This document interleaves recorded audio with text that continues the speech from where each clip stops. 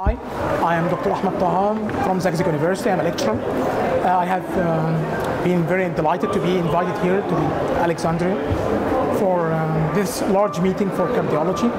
I'm interested in this program and I, I will participate with all my power to get better knowledge for the cardiology and for the young cardiologists, especially the young investigator and who are interested in research. I hope that uh, my message reached to the others, all doctors, younger or even older than me and my colleagues, that uh, cardiology is a need for high field of interest and need much, much research and much work for all doctors. Thank you.